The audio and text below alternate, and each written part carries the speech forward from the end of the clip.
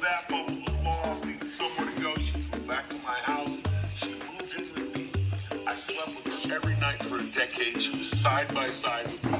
We had a specially designed place that she could come in and out. Ten years later, she's 40 inches taller than she was when I saw her. What are you doing right there, So let me unlock the phone for you. I'm gonna unlock the phone for you. Let me see unlock the phone for you.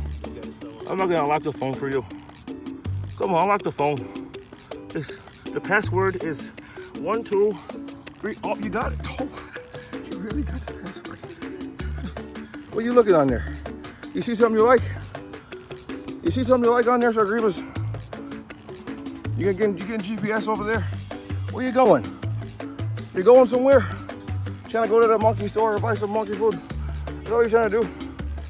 What are you doing? Let me help you out over there. You gotta go to the next screen. There you go. Where you gonna go? You gonna go to Instagram? That's text messages. You're calling Uncle Chuck.